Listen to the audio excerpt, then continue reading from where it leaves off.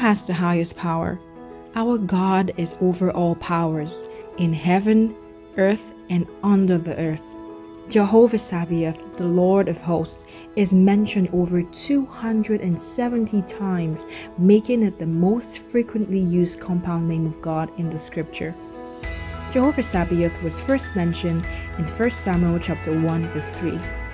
We find Hannah making a covenant with the Lord of hosts as she cried out for him to hear her prayer and give her a child.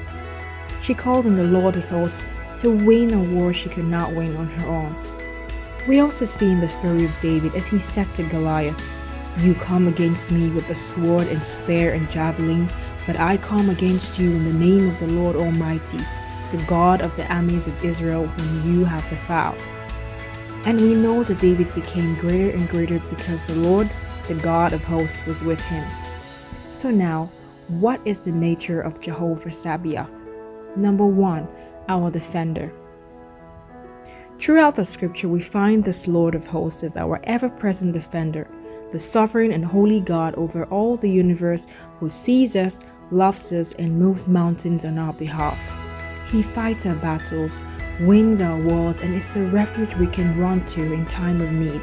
He is Jehovah Sabaoth. Number two, all powerful, all knowing. There is nothing he cannot do, nothing he does not know, nothing he cannot control, no enemy he cannot defeat, no heart he cannot heal, no mouth he cannot shut, and no miracle he cannot perform. Number three, commander of God's armies. In Israel's greatest hour of need, the Lord Sabaoth will return and wage war and rescue his people Israel. The scripture says in Zechariah 14 verse 5, Then the Lord my God will come, and all the holy ones with him. Jehovah Sabaoth fights our battles, wins our wars, and is the refuge we can run to in time of need. Christ as our Jehovah Sabaoth will come with armies from heaven to defeat the Antichrist and bring us to his side. Let's continue to prepare our hearts for His second coming. I hope you enjoy the rest of the service. Welcome to the month of September, the month of Jehovah Sabaoth.